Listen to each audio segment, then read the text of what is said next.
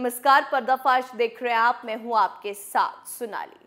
आज बॉलीवुड की ठग गैंग का पर्दाफाश करेंगे और एक ऐसा राज खोलेंगे जिसे सुनकर आपके भी होश उड़ जाएँगे। बड़ी खबर आ रही है कि बॉलीवुड की बड़ी बड़ी हस्तियों के साथ बॉलीवुड के ही बड़े बड़े लोगों ने करोड़ों की ठगी की है। सिनेमा इंडस्ट्री इन दोनों एक घोटाले के सामने आने से हैरान है और इस ठगी का नाम है ओटीटी घोटाला।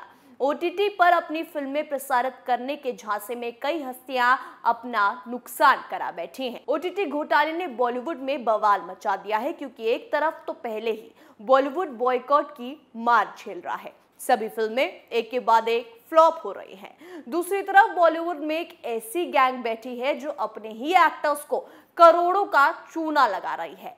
जब से इस मामले की जाँच हो रही है, दो लोग पुलिस की गिरफ्त में जा चुके हैं, जिसमें पहले ही रजत मौर्य और संजय साहा की गिरफ्तारी हो चुकी है। अब खबर है कि इस मामले में तीसरी गिरफ्तारी हुई है। तीसरी गिरफ्तारी फ़िल्म ड्रीम गर्ल के एसोसिएट प्रोड्यूसर अक्षत राज सलूजा की हुई, जिनको साइबर क्राइम पुलिस ने इस मामले में कथित संलिप्तता के लिए गिरफ़्तार किया है। अक्षत को एक एक्टर के तौर पर भी जाना जाता है, क्योंकि उन्होंने कई बड़े फ़िल्मों में काम किया है। अक्षत को राज सलूजा के नाम से भी जाना जाता है। ड्रीम गर्ल के अलावा उन्होंने आदित्य रॉय कपूर की हालिया रिलीज़ राष्ट्र कवच ओम पर भी काम किया और अब ये एक्टर्स के साथ ठगी का काम कर रहे हैं। अब कैसे घोटाला सामने आया? तो चलिए आपको ये बता दें। दरअसल ये घोटाला तब सामने आया जब मुंबई के एक फ़िल्म प्रोड्यूसर मान सिंह ने शिकायत दर्ज कराई। मान सिंह से रजत मौर्य नाम के एक शख्स ने ओटीटी पर उनकी फ़िल्में प्रसारित करने के लिए फर्जी दस्तावेज़ दिखाकर एक डील साइन की थी। इस डील के तहत मानसिंह को हर फ़िल्म के 10 लाख रुपए मिलने थे। जिसको लेकर उन्हें तगड़ा चूना लगाया गया। इसके बाद निर्माता उनके साथ काम करने लगे और अक्षत ने कहा कि उनको पैनोरमा स्टूडियो के एक अधिकारी को पैसा देना है। इसके लिए उनको ढाई लाख रुपए की ज़रूरत है।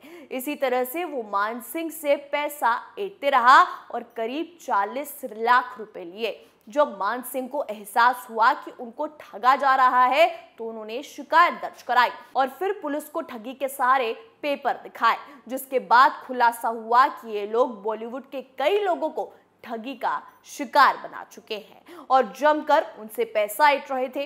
इसके साथ ही जनवरी 2021 में रजत मौर्य ने मान सिंह से कहा कि पैनोरमा स्टूडियोज ने उनकी फ़िल्म खरीदने की इच्छा ज़ाहिर की है। वो इस फ़िल्म को चार करोड़ रुपए में खरीदना चाहते हैं। बता दें कि इस प्रोडक्शन कंपनी ने दृश्यम प्यार का पंचनामा और रेड जैसी फ़िल्में बनाई हैं। रजत मौर्य से दस्तावेज़ लेने के बाद मान सिंह अपनी फ़िल्म एमडी प्लैटिनम पर काम करने लगे। वहीं मान सिंह को भरोसे में लेने के बाद रजत मौर्य ने उनसे पैसों की उगाही शुरू की। उनकी फ़िल्म खरीदने के नाम पर रजत मौर्य भी मान सिंह से पैसा इटने लगा। पहले उसने उनसे पैनोरमा स्टूडियोज के अधिकारियों को देने के लिए ढाई लाख रुपए मांगे। उसने एमडी प्लैटिनम की कहानी में बदलाव के लिए भी पैसे मांगे। धीमे धीमे मान सिंह ने करीब 48 लाख रुपए मौर्य को दिए। तब उन्हें इसमें कुछ गड़बड़ी की आशंका हुई। बता दें ओटीटी घोटाले में प्रोड्यूसर गौरंग दोषी और अभिनेता विवेक ओब्रॉय भी ठगी का शिकार हुए हैं। पुलिस का दावा है कि मान सिंह के लिए पैसों में से साढ़े सात लाख रुपए सलूजा ने लिए थे। तो इस तरह से बॉलीवुड में गटर बनाकर धोखाधड़ी का धंधा चल रहा था। लेकिन अब इसका खुलासा हो चुका है। बड़े बड़े नाम सलाखों के पीछे जा रहे हैं, जिससे बॉलीवुड में सनसनी फैल गई है। वैसे भी बॉलीवुड में हुआ ये पहला घोटाला नहीं है। इससे पहले सुकेश ठग के मामले ने सनसनी फैला दी है। सुकेश की 200 करोड़ की ठगी में जैकलिन फर्नांडिस के साथ साथ कई हसीनाएँ शामिल हैं, जिससे मनी लॉन्ड्रिंग के मामले में एक्ट्रेस जैकलिन फर्नांडिस की मुश्किलें कम नहीं हो रही हैं। मामले की जाँच कर रही ईडी ने जैकलिन की जमानत याचिका का विरोध किया है। वहीं पटियाला हाउस कोर्ट ने एक्ट्रेस को राहत देते हुए अंतरिम जमानत को 10 नवंबर तक बढ़ा दिया है। तो वहीं सुनवाई के दौरान ईडी ने एक्ट्रेस जैकलिन फर्नांडिस की जमानत याचिका का विरोध किया। एजेंसी ने कहा कि जैकलिन फर्नांडिस ने कभी भी जाँच में सहयोग नहीं किया। सबूतों के सामने आने पर ही खुलासा किया। ईडी का यह भी कहना है कि उसने भारत से भागने के लिए एक असफल कोशिश की, लेकिन एलओसी जारी होने के कारण ऐसा नहीं कर सकी। यानी कि जैकलिन ने सबूतों के साथ छेड़छाड़ करने की भी कोशिश की। फ़िलहाल तो 10 नवंबर तक जैकलीन के पास अंतरिम राहत है, लेकिन उसके बाद उसकी दिक्कतें बढ़ने वाली हैं, क्योंकि जैकलीन ने ही सुकेश के ठगी के पैसों पर ऐशो आराम किया।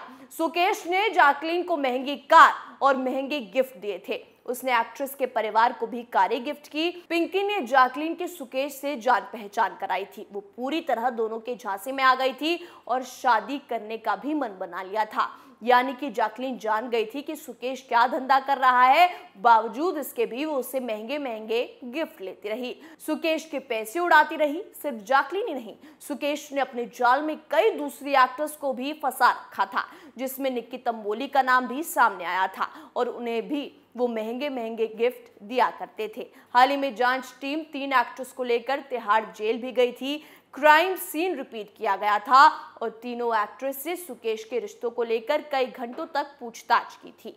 चौंकाने वाली बात तो यह है कि इस केस में पिंकी नाम की महिला मेन किरदार में थी। मुंबई की रहने वाली पिंकी रानी को सुकेश ने अपना एजेंट बनाकर उसके ज़रिए मन माफिक मॉडलिंग करने वाली युवतियों को भी जेल में बुलाकर कमरे में मुलाकात की थी। मुलाकात के बाद उसने सभी को उतने महँगे गिफ्ट दिए, ठगी का पैसा एक्ट्रेस पर लुटा दिया। इसलिए अब ईडी जैकलिन के संदिग्धा को देखते हुए उनकी जमानत याचिका का विरोध कर रही है और साफ़ शब्दों में कह रही हैं कि जैकलिन ने जाँच के दौरान सबूतों के साथ छेड़छाड़ की थी। जैकलिन ने अपने मोबाइल से डेटा डिलीट किया था। उन्होंने जाँच के दौरान देश छोड़कर फरार होने की कोशिश भी की थी, लेकिन एलओसी जारी होने के कारण कामयाब नहीं हो सकी। ईडी का कहना यह भी है कि जैकलिन ने कभी भी जाँच में सहयोग नहीं किया और वो मामले में जाँच एजेंसी को गोल मोल जवाब देती रही, गुमराह करती रही, जिससे वो वक्त भी दूर नहीं जब जैकलिन सलाखों के पीछे बैठी नज़र आएँगी। पर्दाफाश में आज के लिए इतना ही। देखते रहिए कैपिटल टीवी। नमस्कार।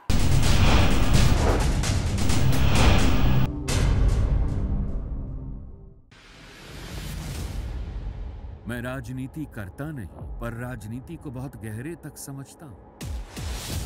मैं लोगों के बीच रहता हूँ, लोगों के मन को अच्छे से जानता हूँ।